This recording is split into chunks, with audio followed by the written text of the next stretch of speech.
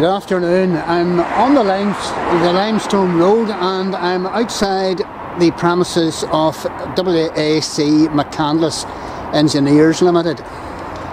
And I've come down here to uh, video this uh, blue plaque, Ulster History Circle, uh, tribute to Rex Richard McCandless 1915 to 1992, engineer, inventor of the featherbed motorcycle frame in 1949, developer of gyroplanes, and he was in business on this spot.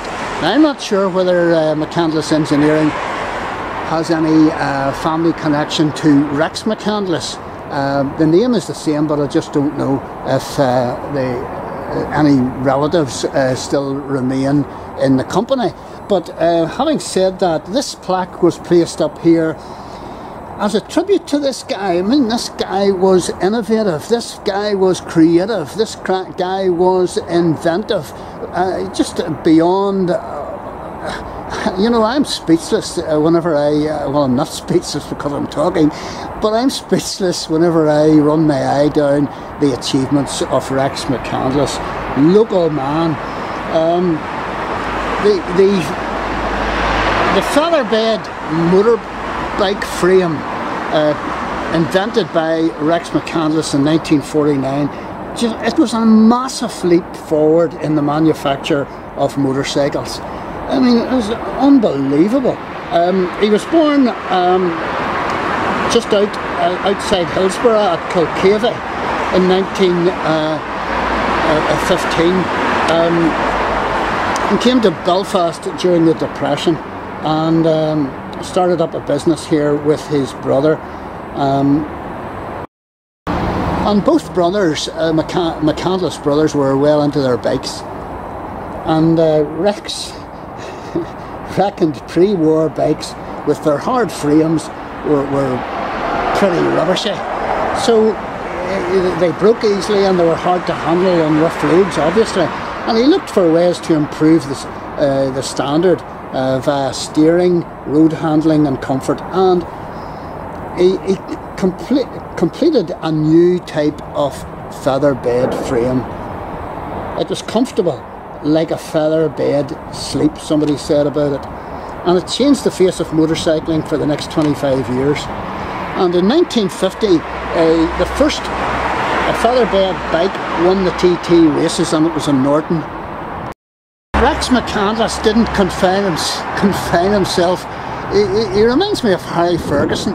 He didn't confine himself to uh, motorbikes.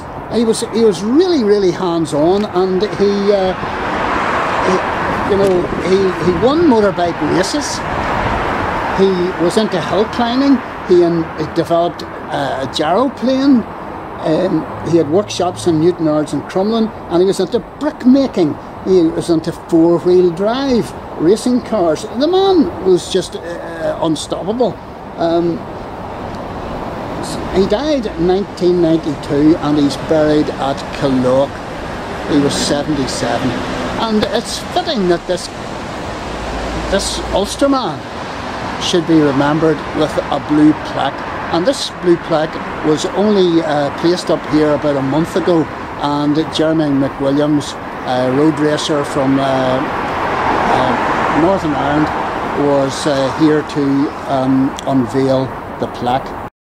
So well done, Ulster History Circle. For commemorating the talent and inventiveness and the achievements of Rex McCandless. Can any good thing come out of little Ulster? Of course! There's hundreds and hundreds of men and women who have made a substantial difference eh, on the world stage. Rex McCandless is one of those many, many Ulster men and women.